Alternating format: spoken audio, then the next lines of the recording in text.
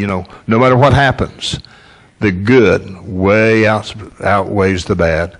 And uh, one of these days we'll all get to go home. And when we go home, we're going to look back at this earth and say, You mean I wanted to live down there? you know, and, and, God is good. So, would you stand? We're going to sing together Majesty, Majesty. Oh, what a, what a great song as we sing.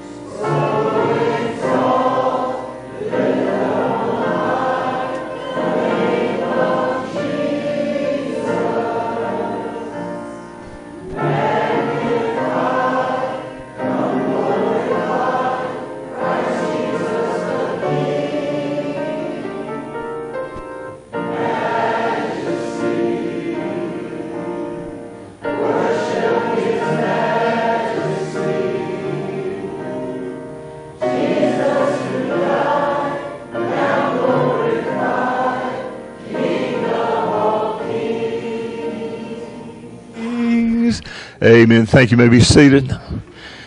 Have you ever thought about what that song really means? The majesty above all majesties, the king above all kings, the lord of all lords. He who rules from heaven above, yet wants to do business in your heart, in your life, in you as a person. You are not a number to him, but an individual. And he who is the majesty of all majesties cares for you like a father cares for his child. I want to tell you what a what a great great Savior we have. I uh, would say to you, if you have looked at the bulletin, that uh, you probably figured out we're going to talk about friends this morning, right? Okay, uh, what a friend we have. What a great friend we have in Jesus our Lord. Now, I want to make an announcement about the bulletins, please. Here it is we will not be putting song numbers in the bulletin for a while. Okay? The reason for that is that always before I would have my bulletin together Tuesday, get it on Wednesday, it was there. Due to things and schedules and all the doctor visits and so forth, I don't always get it done until the end of the week and Don needs the information before then. So, we're just going to tell you what you're going to sing Sunday morning. Okay? After all, let me ask you a question. Lift your hand. How many of you looked the bulletin to get your hymn number? Two, okay? You're outvoted. yeah, you're outvoted. I'm sorry. So, uh, so we'll get by without it, right? Okay. So the first song we're going to sing uh, is one that we discussed about not having uh, real familiarity with it. In fact, I don't think we've sung it since I've been here. And so I said you hadn't sung it for a long time past then. So what we're going to do is, if you don't know it, we're going to learn a new song, okay? We can do that on Sunday morning. Uh, and uh, someone has wisely left me without a hymn book. Okay, that's going to make a real. That's going to make it real interesting. Okay. Well, I mean, you talk about service. Four, five people come up to you. Wait a minute. Uh, thank you. Okay, so uh, that's the wrong one. okay. Uh, so, so if you will turn to, you know, page 297, if you use your hymn book, uh, the song says, Jesus, what a friend of sinners. Now, I don't know. I, I don't know about you, but uh, to me, uh, I'm glad that Jesus is a friend of sinners, aren't you? Do you know, uh, really, the accusation that was made at him was simply this He eats and drinks with sinners. And I'm thankful for his Savior, in spite of all of his holiness, all of his dignity, and who he is, that he has time for us sinners, aren't you? Oh, what's the 296? Oh, we already sung that, right? Okay. 156. That's why I could, that's why it didn't look right to me.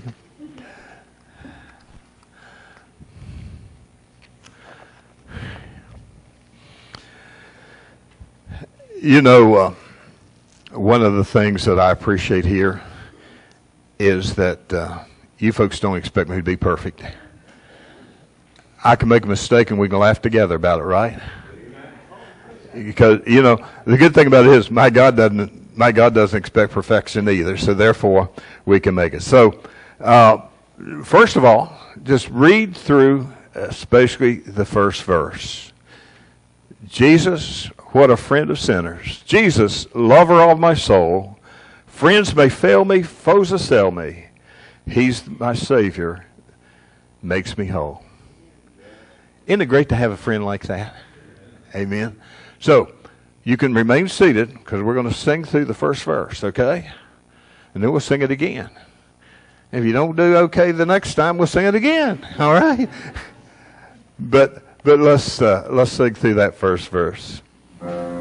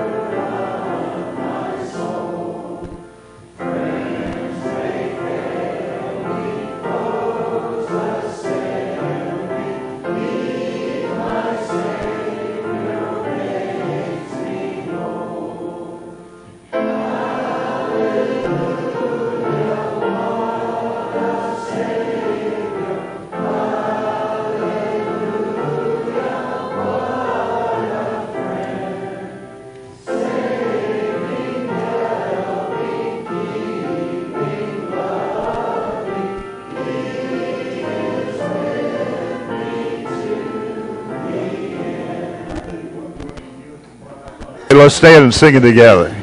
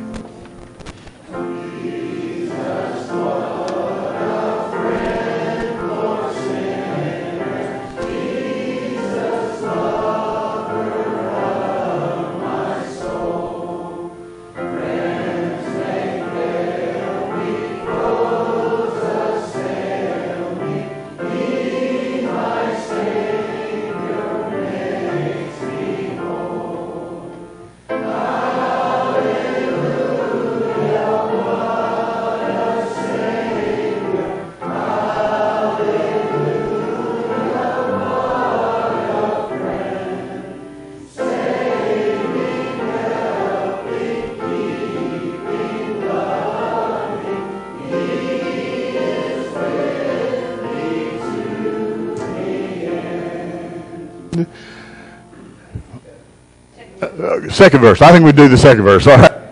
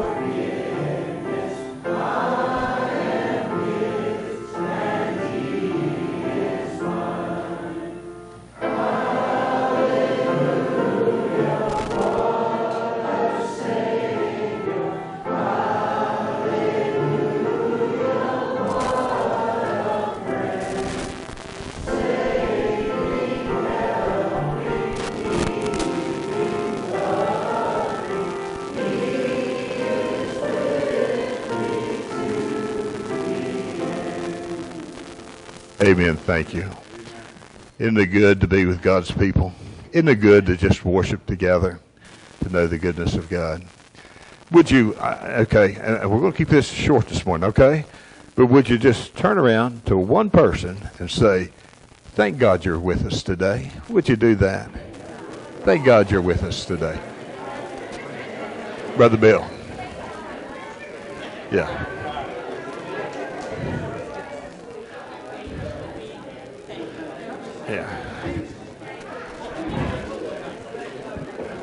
Hey, Bill. You come on. Yeah. Hey, brother. Good morning. Thank God you're with us.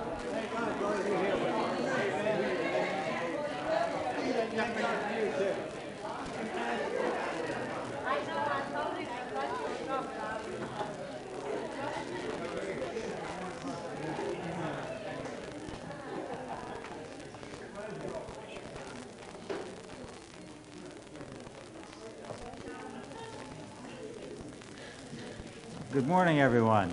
Good to, good, good to be here. Uh, announcements. Uh, first issue, on June 1st, we're going to have a, on the- 9 o'clock in the morning till about noon, we're going to have a cleanup to try to get things ready for VBS and all the things coming up. So we're going to do that on the 1st of June. Uh, We're also going to, the ladies are going to come that and and do some other stuff.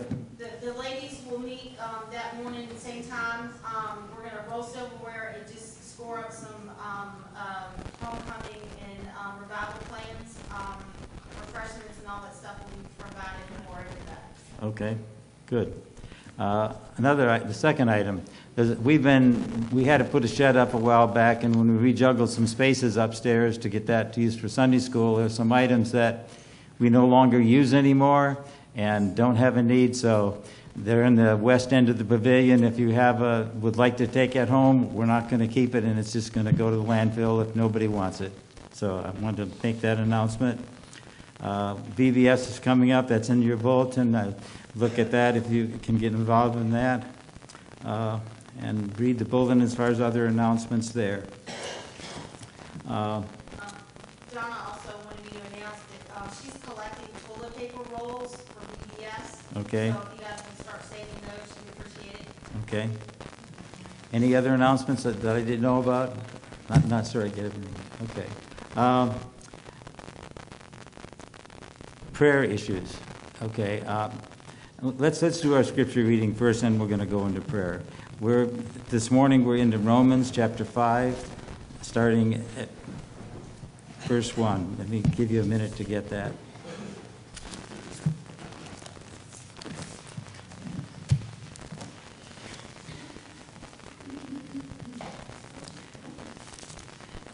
Therefore, since we have been justified through faith, we have peace with God through our Lord Jesus Christ, through whom we have gained access by faith into his grace in which we now stand.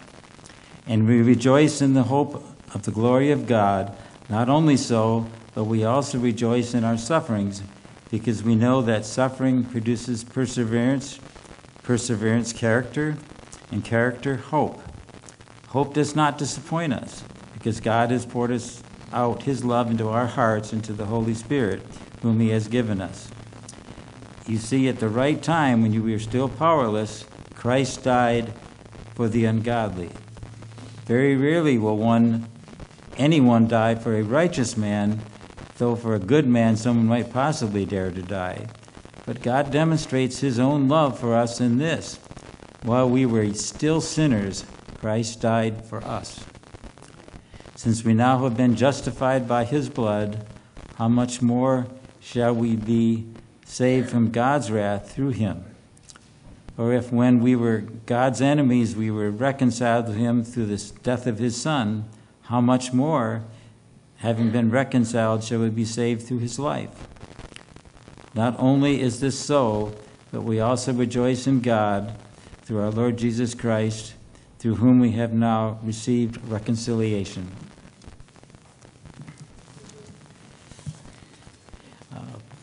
Prayer issues. Do we, I I know of one, and well, we'll give him, uh, we all know Kyle, Marcia had a emergency trip trip to the emergency room this morning. She's there. And Kyle had made previous commitments to preach at another church, so he needs to be there. So we need to keep them in prayer. Uh, we need to keep Pastor Mark and Mary Ann in prayer. Uh, other issues that we need to, yes coworker of mine, Jerome White, on Thursday, had emergency surgery. They had a tumor in his brain. Um, I heard he came through it okay, but that's all I know. Okay. Any other prayer requests that aren't in the bulletin? Okay. Well, let's go to the Lord in prayer. Father, we thank you for permitting us to be here today, to come and have time to worship and praise you, and a time to give concerns that we have to you. And we, we lift up to you Kyle and Marcia as, they deal with some issues there, and be with Kyle and give him the words to say where he's where he's called him to preach, and, and be Pastor Mark and Mary Ann through their struggles right now. We have a number of many. Uh, Jerome White, and thank you for that good surgery there. But it, help us to keep the other ones on our prayer list in prayer and watch over them, help them to get stronger, help them. But as your will is done there, so that they can be available to do what you're calling them to do. We thank you for the opportunity to be here again today, and praise and worship you. In Jesus' name we pray. Amen. Okay, uh, offering hymn. I guess we, I'm going to go by that because it's one 154. So. I'll lead it. Okay.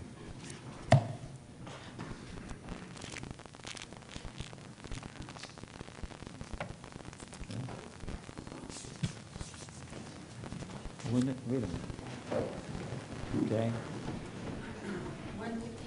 154, okay.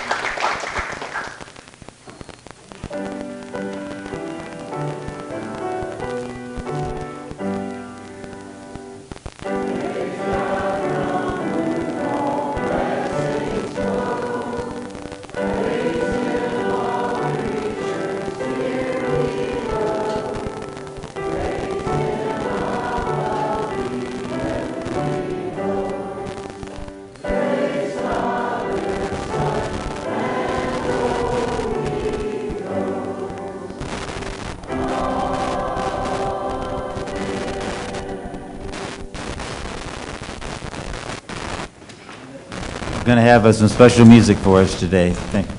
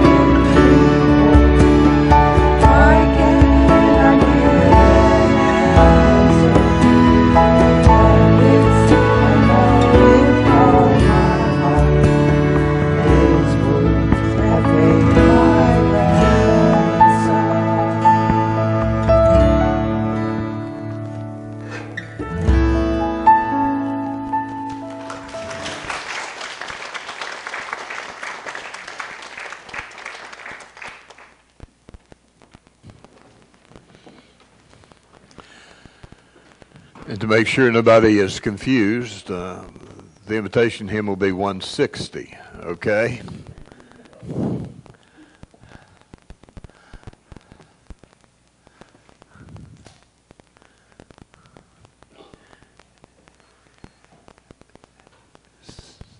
I was, someone said they apologized for me, maybe making me confused, but I want you to know I live in that state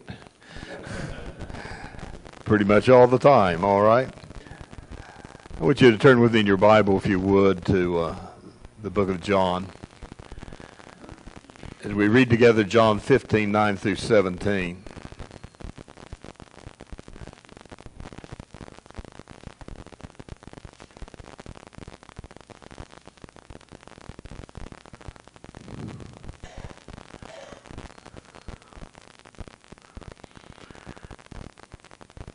As the Father hath loved me, so I love you. Continue you in my love.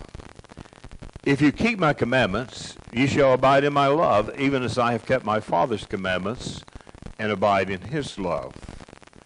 These things have I spoken to you, to you that your joy may remain in you, and that your joy might be full.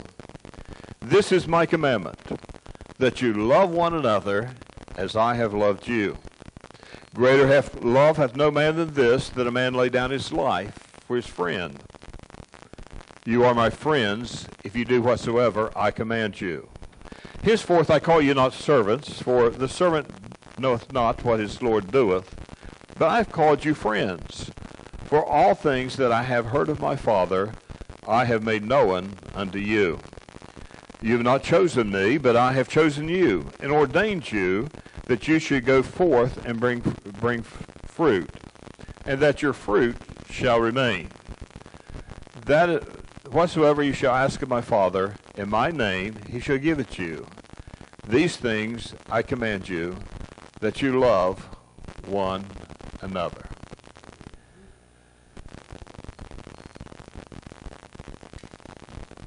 One of the most difficult terms to really define is that concept and that idea of a friend. Now, we all know what a friend is, right? But yet, when you try to put it into words, it just doesn't quite fit. How do you describe what a friend is? Someone said that a good friend is the one who will visit you in prison a real friend is a friend who'll be in prison with you. Well, we kind of understand those concepts as we try to put them together. But I want you to think about two definitions of friendship that Solomon gave in the book of Proverbs. He said, first of all, a friend loveth at all times. The other one is, he said, there is a friend that sticketh closer than a brother. And I want us to kind of explore those two concepts, those two ideas, because I want to tell you about my friend Jesus. Now, we, we sing that song, What a Friend We Have in Jesus. But do we really, really grasp and consider what it means that Jesus is willing to be our friend? Now, I, I can understand us wanting him to be our friend, but he wants us to be his friend. Isn't that amazing? Well, let's think about what it says. First of all, a friend that sticketh closer than a brother. I hope you love your brothers if you have one. And I hope there are people in your life that you consider to be a brother. But there's some limitations to, to brothers and brotherly love. Number one, brothers don't always get along too well, do they? I mean, you know, my brother was always causing problems. you know, we, we we didn't really fight, but we had a lot of discussions that was physical.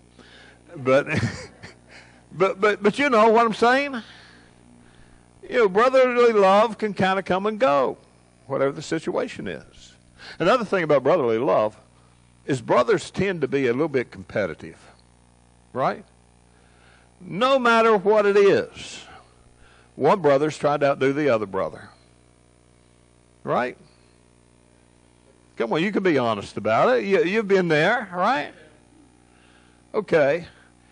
And here's another difficulty brothers aren't always close, they're not always near. Uh, I've got a brother, love dearly. And when we lived on the same farm in two separate houses, we were always there to help each other. Never had to ask if I needed somebody, and I called. Mike was available. I, you know, he just showed up. I tried to do the same for him. But that love and that care is impossible right now. Because he's in West Virginia, and I'm in the Commonwealth. And there's miles that separate us. We can't, you know, as brothers, we can't always be there for each other. Time, circumstances, all these things interrupt. But I want you to know Jesus is a friend that sticks closer than a brother. I want you to think about some reasons why. Number one, there's never a time that Jesus isn't there. Now, even when we feel like he's not there, he's there. I love that story about the disciples on the sea, you know, and the waves begin to roar and the winds blow, and, and they're scared to death that they're going to drown, and they, you know, what, what are we going to do? And, and, and Jesus was walking behind them the whole time. Jesus knew what he was going to do. And no matter what happened, he wasn't going to let them sink to the bottom because he told them, go to the other side. So I want you to understand that Jesus is never, ever away from us. He said, Lo, I am with you always, even to the end of the age. You know, uh, we look at the circumstances and, and everybody gets worried because of all the troubles and trials that happen. We look, we see wars and rumors of wars. We see earthquakes and, and we see all kinds of diseases and pestilence, and we worry about this and that. But do you understand? Jesus said, What? Lo, I am with you until when? The end of the age. It doesn't make any difference whether it's our age that comes to an end or whether it's the age of this world. Jesus is with us. And that is a brother that sticketh closer, or a friend that sticketh closer than a brother. The other reality is this that brother is always able. Always able. Now, my earthly brother, we help each other when we can, there's a lot of times we can't. Right? Not that we don't want to, not that we don't care, but there are there are friends and brothers that we'd like to do something for and we just can't, right? But I want you to know something. My friend Jesus, there is nothing he can't do. Okay? He is able. He is able. And I, I promise you, whatever needs you have, he is adequate and he is sufficient. Now, would you think about it for a moment? You have 5,000 men plus their families gathered together one day teaching. And it comes supper time. And, uh, you know, they they were hungry, and his said to his disciples, "You know, we can't send them away hungry. After all, they've been here all day. They got a long walk home. They're liable, they're liable to pass out. You know, we can't send them home." And the disciples said, well, what are we going to do? We don't have enough money to buy bread for everyone, and even if they had the money, there was nowhere to buy it. You know, there wasn't any McDonald's, or anything. it wasn't there. But Jesus knew what he'd do. And, and so Jesus knew that he could take those few loaves and fishes and feed that great multitude. Now, nobody else knew that. The disciples didn't know it. That crowd didn't know it. But Jesus knew it. Friend, listen to this friend Jesus for a moment. Number one, he knows the need that you have before you know the need. Okay? There is nothing that surprises him. He has been there. He knows the problem. And you may not be aware of it, and if you're aware of it, you look around and you say, it's impossible. How are we going to feed this many? What are we going to do? Our God will meet whatever need we have in His time, in His way, according to His will, that will be the perfect will. He has no limitations. You, you see, Paul said, you know, He will give to us far abundantly above even that which we can think, hope, or pray for, right? According to what? His riches in heaven. His riches in heaven. That means the ruler of the universe, not just earth, but the one who keeps this whole solar system in place, will meet the need in your life. He is adequate to meet your needs. He's a friend. He's not only never separated by by distance, he's not separated by circumstances, but he is a friend that's not separated even from our attitudes. Okay? You know, do you ever feel like you're ashamed to really be honest with God because you don't want to hurt his feelings? You know what I'm talking about. You, you really, you know, you ever get mad at God? Or are you going to sit there and lie to me? You know, it's a human nature. But you know what I found in the Word of God? That there were times those we consider to be our greatest saints got mad at God.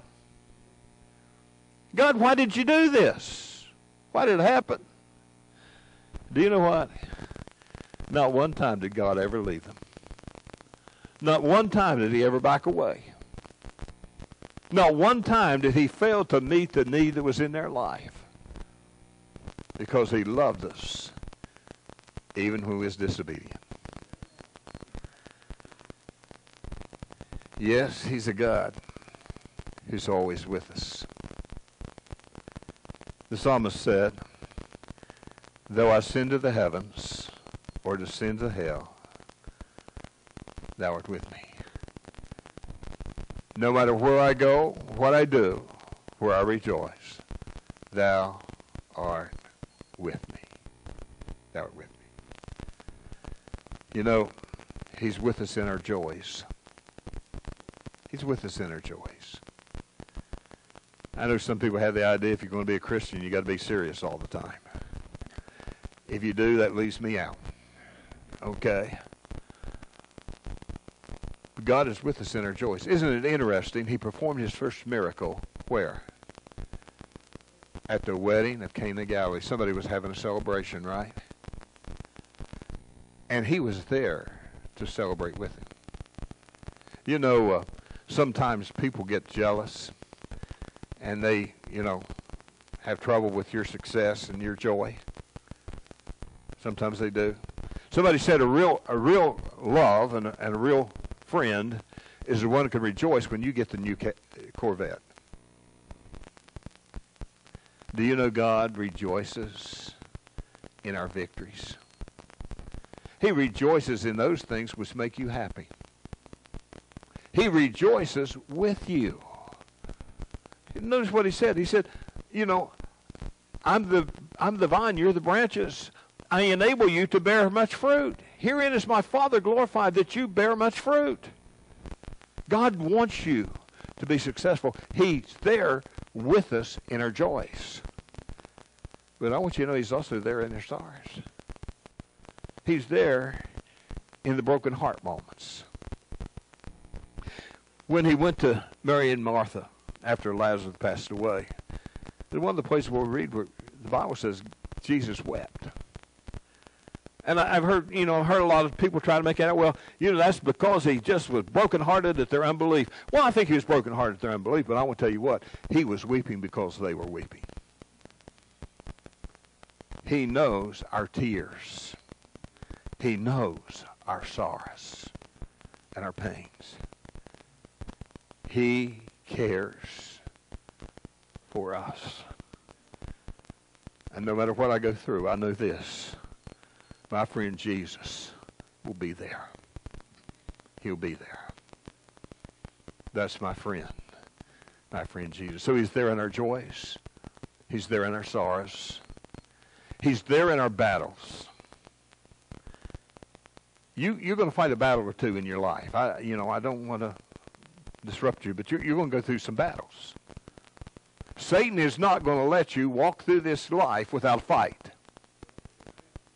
You're going to go through some battles. You're going to go through spiritual battles.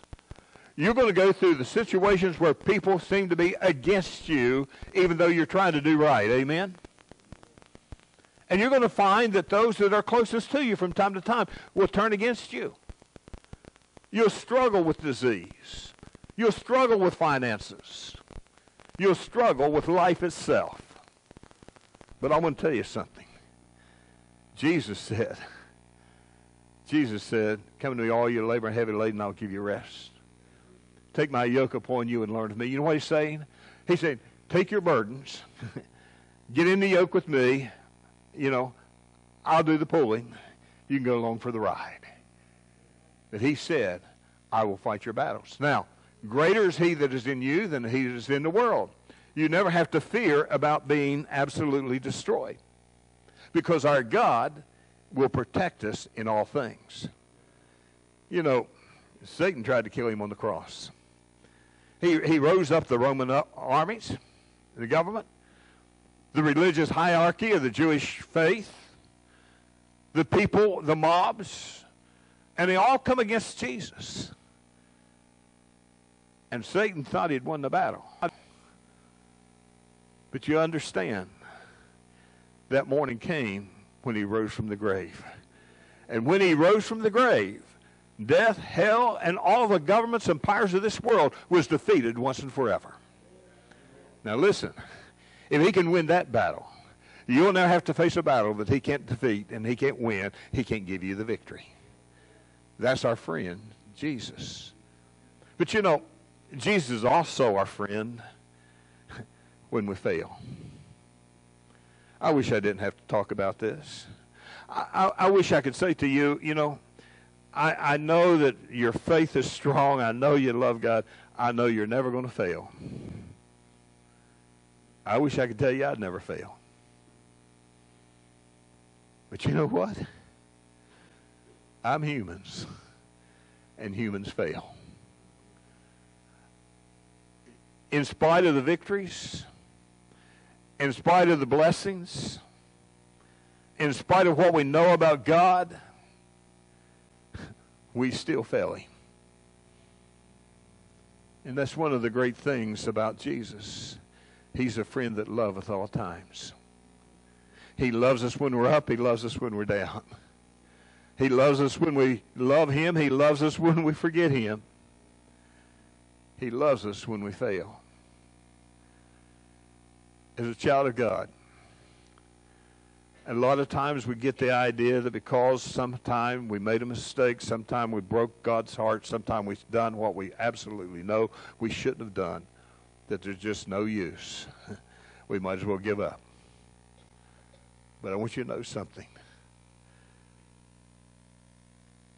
Before he ever saved you, he knew you would fail. And he still loved you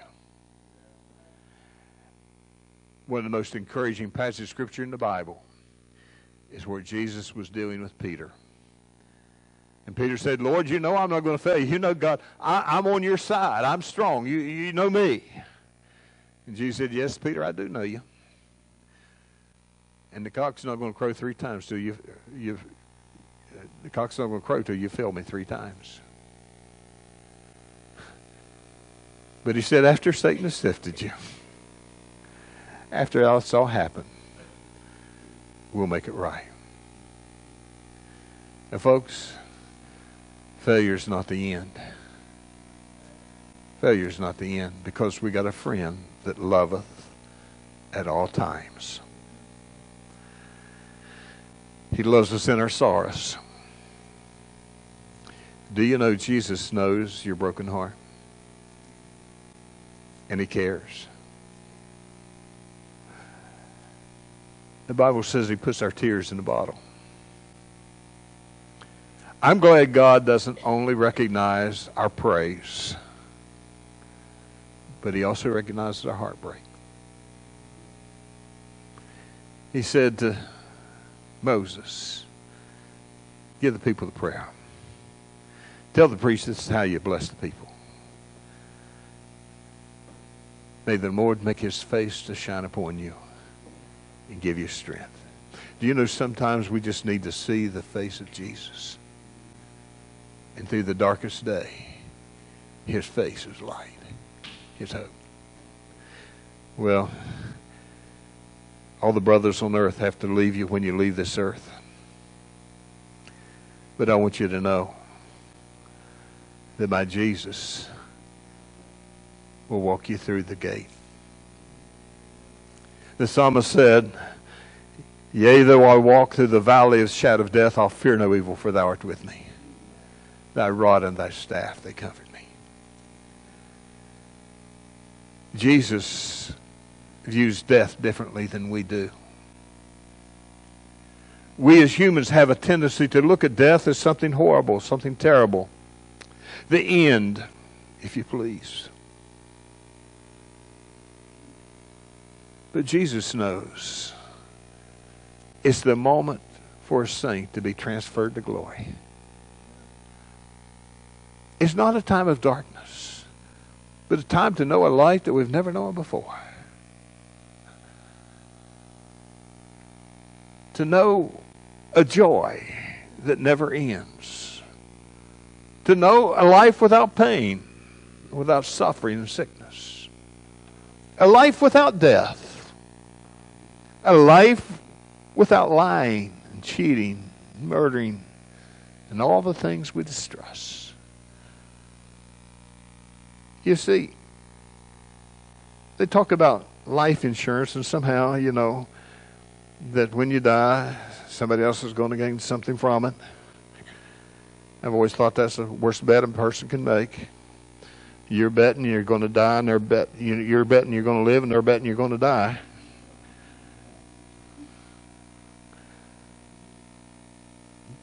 But Jesus said, I want you to have eternal life. And let me tell you just exactly how much he wanted you to have eternal life. First, let me tell you just a quick story about one of the dearest friends I've ever had. When Anna Marie, my oldest, was just a baby, she'd severely burnt. Was in the hospital for quite a while. Insurance wasn't that good, and even though it helped, it still left us hurting. We never said anything. We, never complained. We prayed about it a lot. And one night, there was a knock on the door. Two of our special friends hand us a bill from the hospital Mark paid in full. I want to tell you, that's 30 some years ago. They're still my dearest friends, right?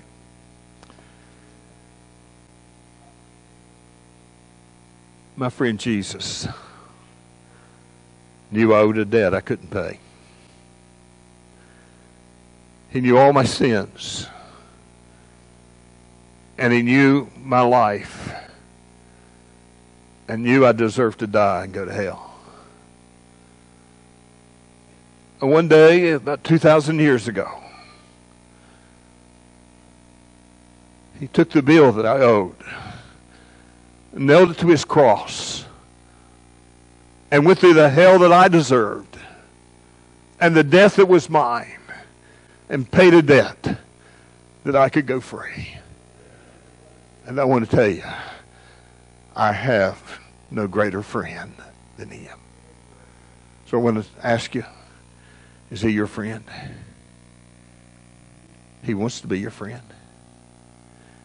He said, It's simple. You are my friends if you keep my commandments. And he said, my, my commandment's not grievous, it's not hard. Here's what the Father requires that you believe in his Son. Now, you can't be a friend of Jesus if you don't believe in him, if you don't trust him. You can't have a friend you don't trust. And Jesus said, I paid your debt. Do you believe it? Do you claim it? First of all, to believe on him means you claim him. You trust him. You take him at his word. You trust him as your Lord and your Savior. And his commandment is, Thou shalt love the Lord thy God with all your heart. Yeah, if you really have the concept of what Jesus has done for you, you just got to love him, right? You just got to love him. If you love him, you obey him. You see, he said, I don't call you servants, I call you friends. Do you know he has a right to call us servants? Because he paid the price. He bought us. We're his. I'm kind of reminded of Boaz as he'd walk through the field and he saw his workers over there, He's really his servants, and he'd say, May the Lord bless you. And they said, May the Lord bless you. Why? Because they loved one another. He was a friend. I believe Boaz. I, this is not Bible. This is just Mark. Okay, but I believe Boaz. If he, one of his servants was there and he's introduced you and say, "I want you to meet my friend. I want you to meet my friend." Jesus had a right to call us servants, but he said, "I call you my friends because I love you like a brother." Love him. And he said, Those are my friends. I want to be friends with each other. Love one another as I have loved you. That means we're going to learn to love each other in spite of our weakness, in spite of our needs, in spite of our failings, in spite of our, our, our mistakes and our hurts and our pains. We're just going to love each other because Christ loved us. Let's pray together. Lord, of all the mysteries of the universe and all the questions that's ever come to my mind, never have I tried to wrestle with a reality greater than this that God loved me. That you love me. I don't deserve it. I know it. But your loving us has nothing to do with what we deserve. It's all about your mercy and your grace. That you loved us when we was unlovable. While we yet enemies, you died for us. Thank you, Father. Lord, we talk about the great things you do for us. Solomon said that if a man would be friends, he must first prove to be friendly. So God teach us to be a friend of you, to love you, to serve you, and when we don't understand what's ahead, to trust you, to know why the Lord knows the way through the wilderness. So, Lord, you, I pray that you speak to each heart here this morning. You know those who have a personal relationship with you and those who don't. And there's not one here that doesn't have a relationship with you that's that can't have. Because you said, Come to me, all you labor and heavy laden. You said, Whosoever heareth, let him come and drink of the waters of life freely. Lord, you know every heart. I pray that you speak, give faith, and give grace that they may accept you. Your children this morning. Lord, teach us to lean upon you. Teach us to trust you. Lord, just make your face to shine upon us and give us strength. Have your way this morning. And we ask it in your name, in the name of Jesus. Amen. I had the hymn change for the invitation for a reason. It says, just when I need him most. Jesus is there to comfort and cheer. Just when I need him most. As we stand and sing, first of all, I want to say to you, if you don't have a friend like Jesus, you can't have right now. By faith, you can say yes to him. By faith, you can, you can trust him as your Lord and your Savior. By faith, you can say, Father, I know I can't do it. I know I'm a sinner. I know I don't deserve it, but I trust your grace. I trust your gift. I want to accept Jesus. I invite you to do that. Maybe you're a child of God and you've struggled and you've got burdens, you got hurts. Just bring them to the Lord and leave them there. Because just when you need him most, he's waiting right there as we stand as we sing together.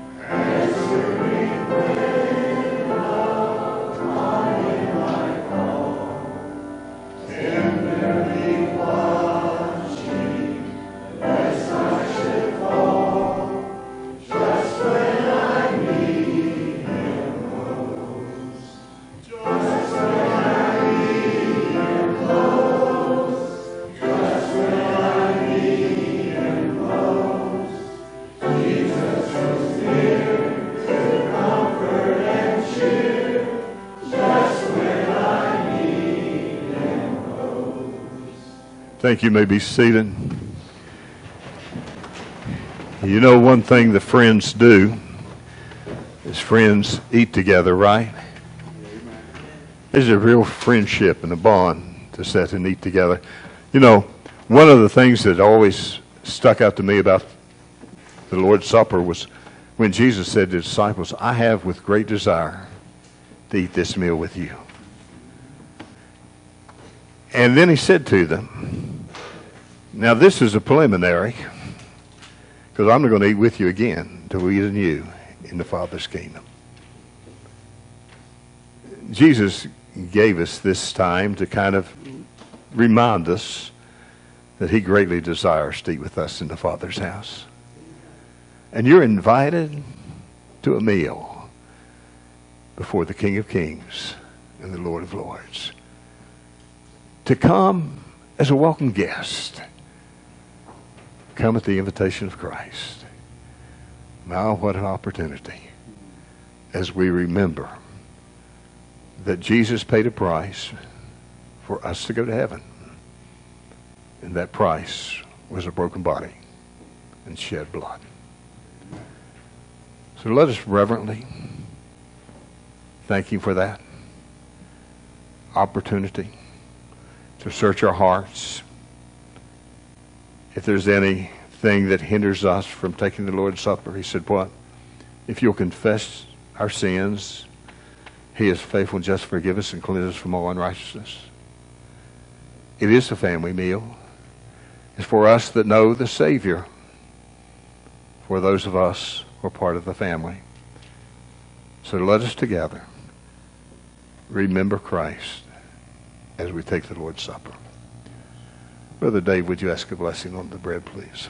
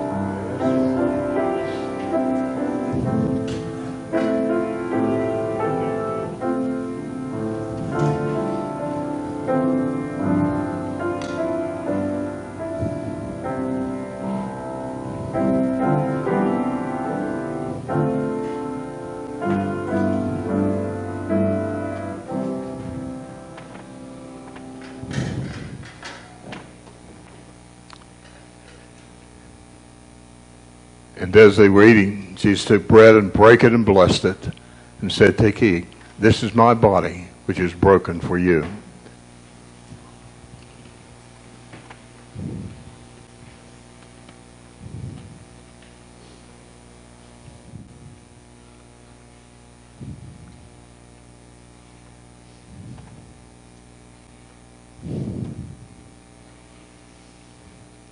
And likewise, he also blessed the cup.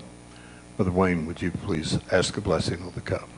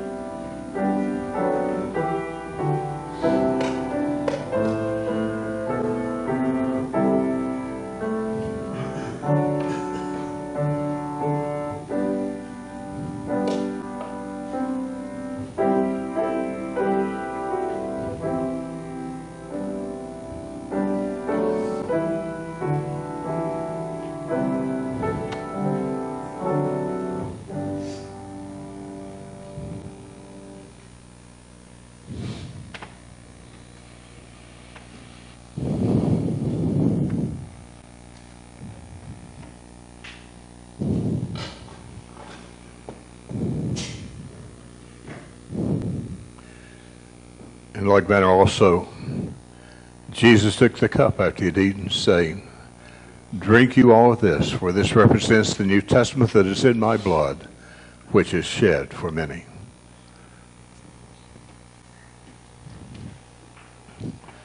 For as oft as you eat this bread and drink this cup, you do show forth the Lord's death till he comes. Till he comes. It's common for the Jewish people when they do Passover to end with this phrase next year in Jerusalem. Heard of that? Would you say with me? Next time in the Father's house. Next time in the Father's house. Let's stand together. As they sang a hymn and, and went out, let us sing that hymn we sing so often.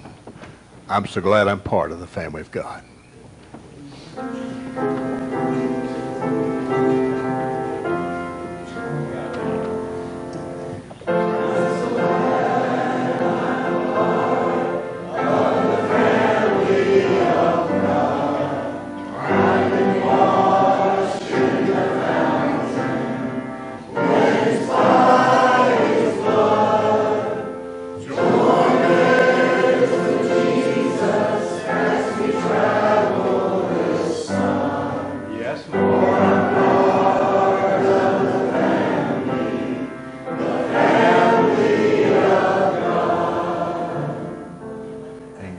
People said, Amen. Glory. Brother Paul, would you dismiss, please? Dear Heavenly Father, we are grateful to know that um, as uh, just this world is, uh, it's a hard time out there, but Lord, we know that we go with you and that you are our friend, that um, you will never leave us nor forsake us. And dear Heavenly Father, we ask that the light that um, is in this church, that it will be in us, Lord. And dear Heavenly Father, we would take that light into the world to share your joy and your peace and your friendship with everyone we come in contact with. In Jesus' name, amen. Amen.